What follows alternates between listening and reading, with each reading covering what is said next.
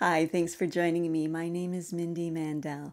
In this video today, I'm going to be talking about Plotinus and specifically about his Ennead on the one or the good.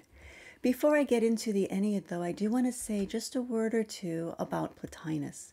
So he lived in the third century, so some 500 years or so after Plato, and he's generally known in academia as the father of Neoplatonism. So scholars generally want to separate Plato from Plotinus and those other philosophers in this tradition who come after him. Um, I think it's because of the more openly spiritual nature of these later Platonists, of their writings. Um, of course, those of us who see Plato's work in a spiritual light don't necessarily make that distinction, and so I tend to just call them all Platonists. But you will see him referred to as the father of Neoplatonism because that era is marked, is beginning from Plotinus. So his writings, there are 54 essays. Um, according to his biography, his students asked him to please write something down as he got older in years, and so he wrote a bunch of essays. And then one of his students, a man named Porphyry, a philosopher in his own right, he organized these essays. So there are 54 of them, so he put them in six groups of nine. And the word Ennead is the Greek word for a group of nine. And so that's what these essays came to be known as. Now, the one I'm going to be talking about today is actually the very last one. It's from that sixth group of the six groups total, and it is the ninth essay in that group of nine. And so this one is called The Good or the One. And I chose this one in part because it is just one of the best. It's it's really a beautiful, beautiful essay, but also because I think it fits well with what I've done in the last two videos covering the metaphysics. So this one is going to take it a step further. For Plotinus, it's not enough to just talk about metaphysics. You're not really doing philosophy if you're only talking about metaphysics. You're simply talking about philosophy. But what we want to do is actually do philosophy. And that means that we have to actually bring our soul to a healthier state. And that includes seeking the experience or the feeling the presence of the good or the one. And so this essay covers some metaphysics, but it also it's going to take it that step further into the experiential side of doing philosophy. Okay, that said, let's get into it. So the essay is broken up into 11 parts, and therefore I have organized this video in the same way.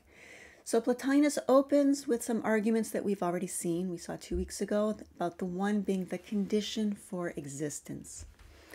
And here's just one excerpt from that section. He says, if it's not a one, a thing is not. No army, no choir, no flock exists, except it be one. No house, even, or ship exists except as a unit house or the unit ship. Their unity gone, the house is no longer a house. The ship is no longer a ship. Now, also in this first section, he makes the case that the soul is not the one. Now, he's going to go through the various metaphysical levels. First, explaining why the soul can't be the one, and then he's going to look at the intelligence and being, or the intelligible, as we've been calling it in some other systems, in Plato's system. And then he's going to go on to talk about the one itself. Okay, so first, the soul is not the one. He says the soul is manifold as well as one, even though it is not constituted as parts. So it has a certain unity to it. That's what he means by saying as well as one. It has a unity to it, but it's manifold. It has various faculties discursive reason, desire, perception, joined together in unity is by a bond. Okay, so we see that the soul cannot be the one. And then in the second part, he goes on to argue that neither being nor the intelligence are the one. So, first about being. As the being of each thing consists in multiplicity, and the one cannot be multiplicity, the one must differ from being. And because being possesses life and intelligence, it is not dead, it must be multiple. And then here's what he says of the intelligence that it is dual. Duality is implied if the intelligence or nous is both thinker and thought. It is not simple, therefore, not the one. And if the intelligence contemplates some object other than itself, it would uh, contemplate something greater than itself. And so then certainly there exists something superior to the intelligence. He also says that we must conceive the intelligence as enjoying the presence of the good and the one. Now, here, he's not saying the good and the one are two separate things. And you'll see that in the next few sentences here that he's it's contemplating it, so singular. So the good and the one are two names for the same thing. It's enjoying the presence of that which we call by the two names, the good and the one, and contemplating it while it is also present to itself, thinks itself, and thinks itself as being all things. Constituting such a diversity, the intelligence is far from being the one. So now that he has dismissed those lower realms as being the one, he can now go into the more experiential side of seeking the nature of the one. As the soul advances towards the formless, unable to grasp what is without contour or to receive the imprint of reality as diffuse, it fears it will encounter nothingness and it slips away. So we're reaching for what is beyond even being, what has no existence so to speak. It has some mode of existence, as, we, as I talked about two weeks ago. It must, we can't say it's nothing because it's the cause of all. Yet, being the cause of existence, we can't technically say it exists. And so we're reaching, we're grasping for something that can't be grasped. And so it, the soul has the fear that it's encountering nothingness when it's trying to go beyond existence. So that's the first problem, if you will, that we hit. He's going to name a number of problems in this essay. And then here's another one that when the soul seeks to know in its own way by coalescence and unification. So he's already giving us a hint of where he's going here, of how to do this. That the soul, the first step here is through unification of the soul. And that's very much consistent with all the things that Plato have, was saying about educating the soul. Um, so when the soul seeks to know in its own way by coalescence and unification, it is prevented by that very unification from recognizing that it has found the one, for it is unable to distinguish knower and known. But nonetheless, a philosophical study of the one must follow this course. So, what we're seeking is that which is beyond that duality of knower and known. There has to be a certain sameness. And actually, the Greek for what we call the one itself would actually more literally be translated as the one self. Or also, that word for self also means same in other contexts. And that actually fits very well with what Plotinus is doing here. And it also is quite consistent with, say, Hinduism and other wisdom traditions that talk of the self, because there's a sameness between our soul and what we are seeking. And when there is no otherness, then we can say to have a full recognition or be fully in the presence of the one. And that is the um, experience that we're seeking. I use the word experience loosely because technically an experience means a knower and a known, and we're going beyond that. So we have to use experience with air quotes in our minds. But that's what we're seeking. And so we can think of this as the one self.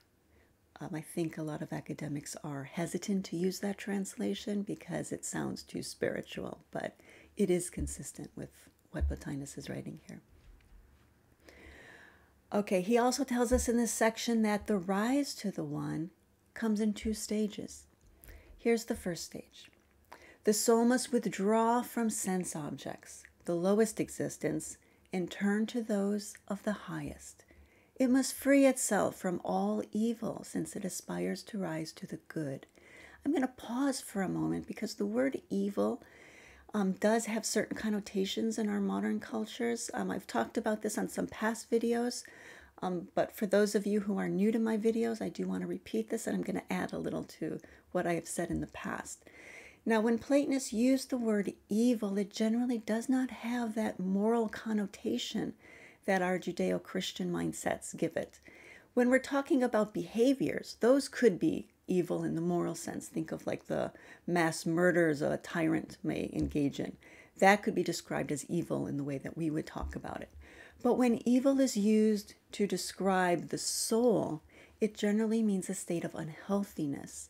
Because for Platonists, that horrible behavior that people engage in is not rooted in in sin or in some kind of inherent sin that we're born with. It is rooted in ignorance. And so evil is used in the sense of unhealthy. If you read it that way, when it's talking about the soul, then it makes a lot more sense in the context it's used in. Now, here the word evil is being used in a metaphysical sense. And so I'm going to add another way of understanding this word. And I think it's very helpful in metaphysics to think of evil as a state of differentiation, because for the Platonists, unification is equal to the good. Therefore, differentiation would be called evil in contrast. But it's not, again not evil in that moralistic sense, but it's evil in the sense of having um, progressed away from the one into greater differentiation. So he's saying here that the soul must free itself from all differentiation or multiplicity since it aspires to rise to the good. It must rise to the principle possessed within itself. From the multiplicity that it was, it must again become one. Only thus can it contemplate the supreme principle, the one. So we have a two-step process, and this is the first one, is getting rid of all of the false beliefs that have us um, separated and broken up and our attention drawn this way and then that. We want to bring a complete unity to our soul. We're actually going even beyond what's um, what I've talked about in some past videos in terms of, um, of bringing unity to the soul. This is the, the highest sense of unity to get rid of all sense of differentiation or multiplicity, and, and there'll be more about that as we go on. But that's the first step. Once you do that, the soul can participate in nous, or as this translator is calling it, the intelligence. So, having become the intelligence, having entrusted itself to it, committed itself to it, having confided and established itself in it, so that by alert concentration, the soul may grasp all that the intelligence sees.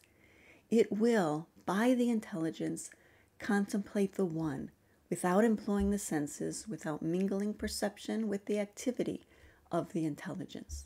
So nous is kind of like the taxi that is gonna we're gonna hitch a ride with to take us to that final journey to the one. So it's two steps. We bring unity to our soul, allowing us to participate in nous, and then through nous we're able to make that jump, that leap to the one. He says that it must contemplate this purest of objects through the purest part of the intelligence, through the purest of the intelligence, through that which is supreme in the intelligence. And this, of course, is implying that the experience of nous admits of degrees. Now, also in this section, he reiterates something that we've seen in past Ennead as well the idea that the one is the begetter, the first cause of all, and as begetter, the one is none of the things that it begets. So this was expressed in another Ennead as well. I gave you a quote two weeks ago that's very similar to this one, but I'll show you how he expresses it here in this essay. He says, As the one begets all things, it cannot be any of them, neither thing, nor quality, nor quantity, nor intelligence, nor soul. It's not in motion nor at rest, not in space nor in time. It is the in itself uniform, or rather, it is the without form, preceding form, movement, and rest, which are characteristics of being, and they make being multiple. Okay, so the one is none of the things that it creates. And what this means for us is that the goal of seeking the one requires rising above knowledge. He says, Awareness of the One comes to us neither by knowing nor by the pure thought that discovers the other intelligible things, but rather it's by a presence transcending knowledge. I really like this phrase, a presence transcending knowledge. I don't know to what degree it's um, credited to Plotinus and to what degree it's credited to the translator, but I do like that phrase, a presence transcending knowledge. It's a nice description. When the soul knows something, it loses its unity. It cannot remain simply one, because knowledge implies discursive reason, and discursive reason implies multiplicity. The soul then misses the one and it falls into number and multiplicity. Therefore, the goal that we're seeking requires us to go beyond knowledge and hold to unity. Now, if the soul does not feel a rapture within it, like that of the lover come to rest in his love, if because of his closeness to the one, he's able to receive its true light, his whole soul made luminous, but despite being this close, he's still weighted down and his vision frustrated. So, this is a common problem. And I'll tell you honestly, it's one I can relate to. Um, that to be filled with this luminosity, but still falling short. And Plotinus tells us that if you rise alone, but still, if you do not rise alone, sorry, but you're still carrying with you something alien to the one.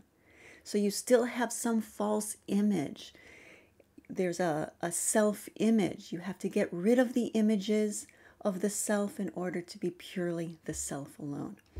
And if there's still something alien to the one, then you have got no one to blame but yourself. And so, what you need to do, he gives us some advice here become pure by detaching yourself from everything. You must get rid of every image of self.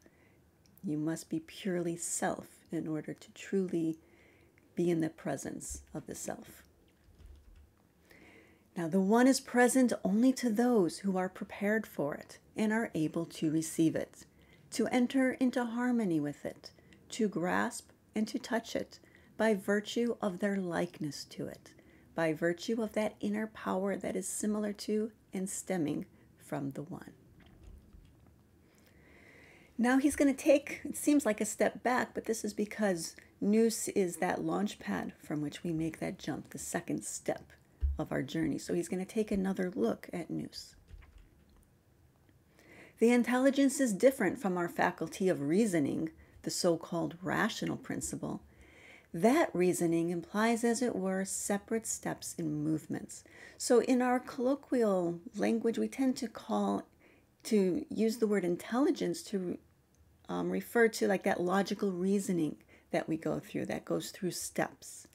But he's saying he's using it differently here. That's not what he's talking about. Now, that faculty of reasoning we can understand by looking at the divided line. And this is Plato's um, divided line from his Republic. This matches up to the allegory of the cave in Book 7 of the Republic.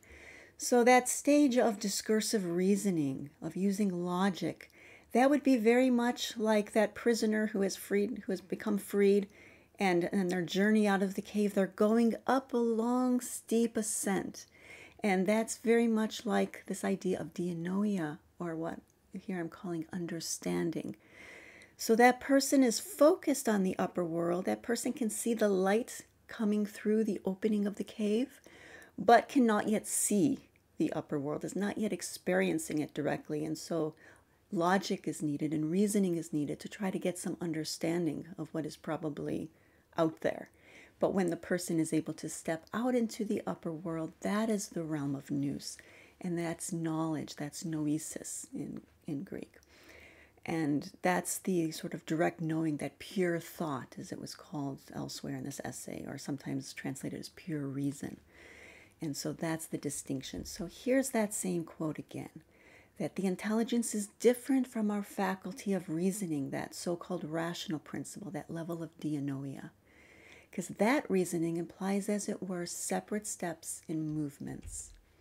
But knowledge, that fourth section of the divided line, that consists in the manifestation of the rational forms that exist in the soul.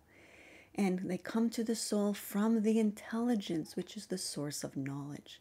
Now, by the way, some translators will call that fourth section of the divided line understanding, which really confuses things. I always use understanding to talk about that third section because that's where we are using logical discursive thought. Whereas, well, of course, there is understanding going on in the upper world. It's really marked by that knowledge, that pure thought that is um, the mark of nous. Okay, the sixth section of this essay, then, he talks about the one as the via negativa, as that path to the one by looking at the negatives, what it's not. And let's see how he does this. He's going to take away everything we think we know about the one. He says it's not indivisible in the same sense in which the smallest is indivisible. On the contrary, the one is the greatest, not physically but dynamically. Hence, it is indivisible, not physically but dynamically. Now, technically, the via negativa should be saying it's neither indivisible nor not indivisible because it's beyond that dichotomy and so on for everything.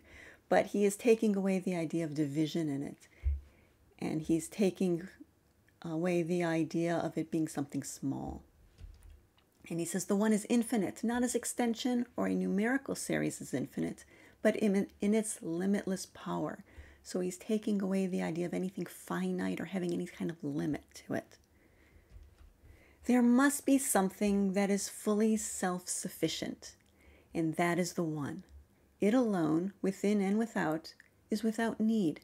It needs nothing outside itself either to exist, to achieve well being, or to be sustained in existence. Okay, again, technically, we'd say it's, it's neither self sufficient nor not self sufficient. But this idea of taking away need is what he's stressing here.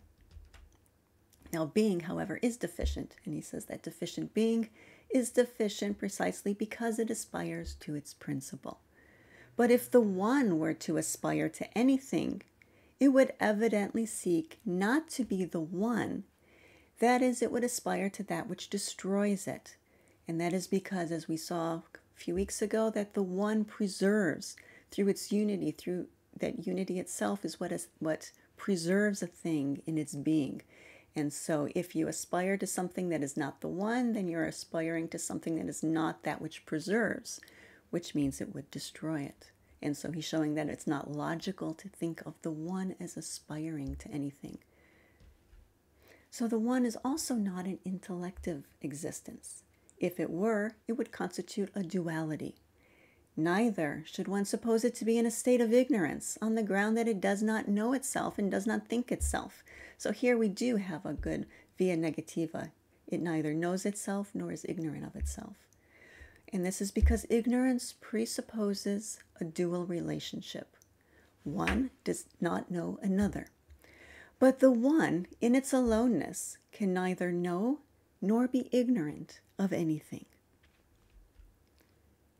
So now that he took all of that away, He's going to show us how we can use the via negativa as the path that we must follow. So, when you're thinking about all these things that the one is not, he says the mind reels at this. There's nothing to hold on to. And if the mind reels at this, the one being none of the things that we mentioned, a start yet can be made from them to contemplate it. So he's telling us that the purpose of taking away all the things that it's not is this is our starting point because how do you possibly contemplate that which is beyond even being now it's only a starting point because saying what it's not doesn't tell you what it is. Like if someone had no idea what music was telling them that it neither has fur nor feathers doesn't really tell you anything about music. And in the same way, the via negativa doesn't really tell you what the one is, it's just the starting point of our contemplations. And he says that no one can concentrate one thing by thinking of some other thing. So he should not connect something else with the object he's thinking of if he wishes really to grasp it. That's why we have to take away all the things it's not. If you're focusing on those things that it's not, you're never going to really grasp the one.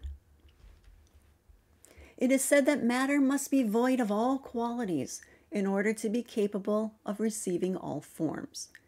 So must the soul, and for a stronger reason, be stripped of all forms if it would be filled and fired by the Supreme without any hindrance from within itself. Having thus freed itself of all externals, the soul must turn totally inward, not allowing itself to be wrested back towards the outer. It must forget everything, the subjective first, and finally the objective. It must not even know that it is itself that is applying itself to contemplation of the One. So, this goes beyond a lot of what we've seen talking about the virtues in bringing that certain unity to the soul. This level of unity is discussed in the Phaedo, and the two step process also is consistent with the Phaedo as well.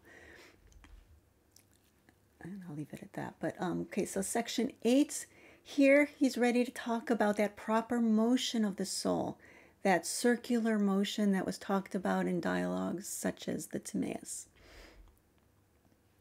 Self knowledge reveals to the soul that its natural motion is not, if uninterrupted, in a straight line, but rather it's circular, as around some inner object about a center, the point to which it owes its origin.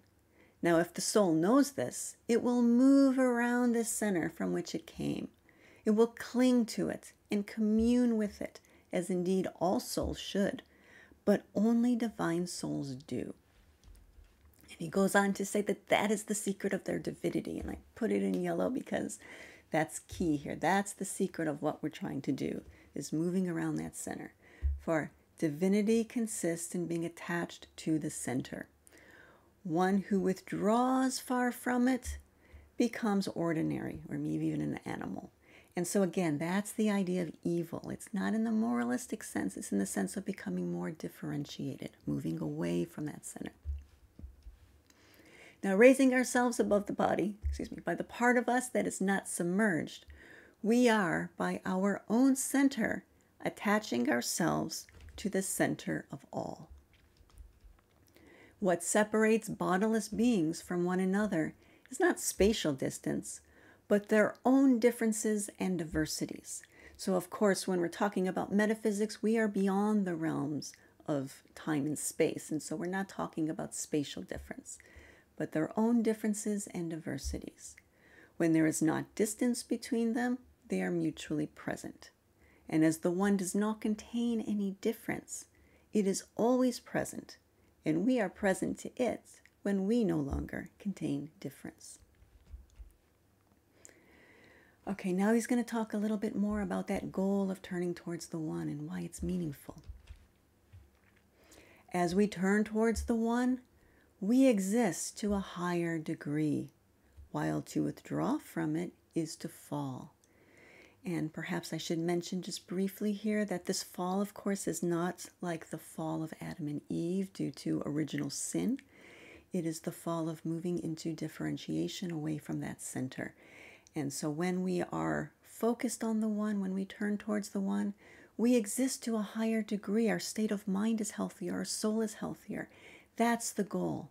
We're not just talking about metaphysics, we're actually doing it. That's doing philosophy. The soul filled with divinity is pregnant. This is its starting point and its goal. It is its starting point because it is from the world above that it proceeds. It is its goal because in the world above, the good to which it aspires, I'm sorry, in the world above is the good to which it aspires. And by returning to the good, there its proper nature is regained. So, again, that is our goal, not just to talk about metaphysics, but to actually do this and to fulfill our destiny to be as healthy as we can be as souls. Further proof that our good is in the realm above is the love innate in our souls. Hence the coupling in picture and story of Eros with Psyche. So, Psyche, of course, is the Greek word for soul, and the soul is different from the divinity Eros, which means love, but according to Plotinus, Psyche springs from the god love and therefore needs love.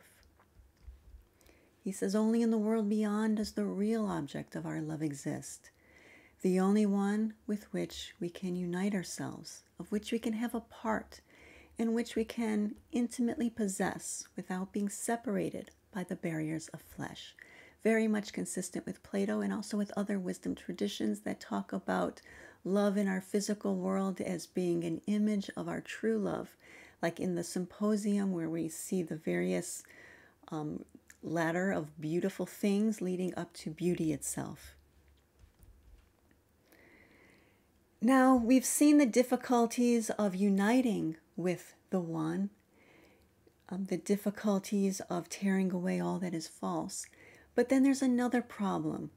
Say you are fortunate enough to actually be in the presence of the One, to go beyond even that feeling of being filled with luminosity, to truly unite to the One.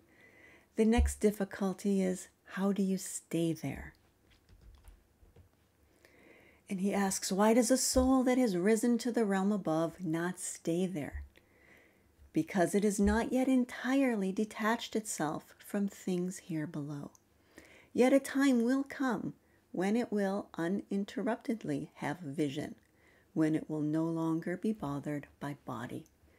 Now, there are two ways to understand this particular quote here. And I'm going to leave it open ended because it's a question that I think is important to hold on to and is worth holding on to. To ask yourself, to what degree can we um, hold on to this vision while still in a body? So there's two ways to understand this. Is he saying that there will come a time when we no longer reincarnate, when we leave this life, a certain lifetime, and then do not reincarnate and are able to uninterruptedly have vision because we're no longer bothered with having a body anymore. That's one way to read it. But then we also have to ask ourselves is it possible to hold on to this vision uninterruptedly while still in a body? To reach a state of mind that is so strong that the body no longer is a hindrance to us, that we can function in the physical world while holding on to this vision and not being bothered by the fact that we're still in a body. Those two ways of reading it are both possible. So we have to ask ourselves which one fits reality, which one fits our actual experience. Um, what is the degree to which we can hold on to vision while still in this lifetime? And so it's a question that we're likely to keep coming back to over and over and changing our answer to, and that's exactly what we should be doing. So I'm not going to say any more about it. I'm just going to leave you with that question. Now, the person who obtains the vision becomes, as it were, another being. He ceases to be himself, retains nothing of himself. Absorbed in the beyond, he is one with it, like a center, coincident with another center. So, here, of course, saying that he retains nothing of himself means nothing of the ego self, nothing of his self image. And again, this really um, is clarified with the translation of the one itself as the one self.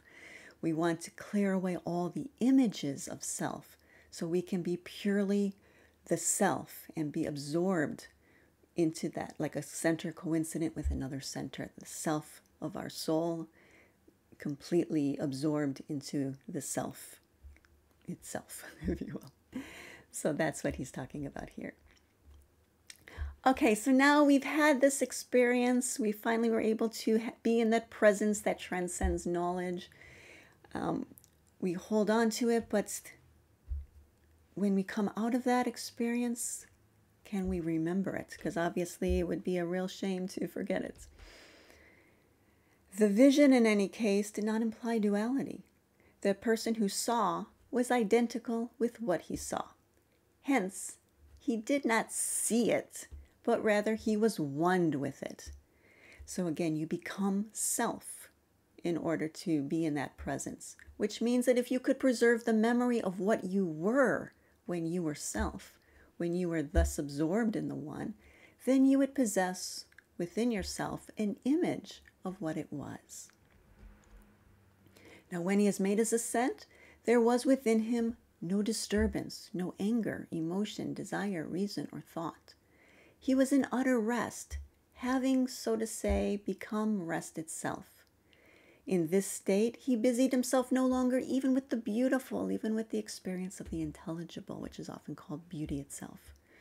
He had risen above beauty, had passed beyond even the choir of virtues. Such an experience is hardly a vision. It is a seeing of a quite different kind, a self transcendence, a simplification, self abandonment, a striving for union, and a repose, an intentness upon confirmation. This is the way one sees in the sanctuary. Anyone who tries to see in any other way will see nothing. One who has not yet arrived there will leave aside nothing of the divine that the soul is capable of acquiring. And if his vision is not yet complete, he will attend to its completion, which, for him who is risen above all, is the one that is above all. Again, that's doing philosophy rather than just talking about it. Now, if you look upon yourself in this state, in this exalted state, you will find yourself an image of the One. And if you rise beyond yourself, an image rising to its model, you have reached the goal of your journey. So, again, another way of stating the two stages of our journey. And when you fall from this vision, you will, by arousing the virtue that is within yourself and by remembering the perfection that you possess, regain your likeness. And through virtue, rise to the intelligence, and through wisdom, that second stage of the journey, you'll rise to the one. Okay, so that's all you got to do. It's easy. No, not really. But um, I do hope that you enjoyed that. And if you did, I would appreciate you hitting the like button. Just takes a second. And also, if you have any questions or comments or any requests for future videos, please leave them below in the comments section. Thank you very much.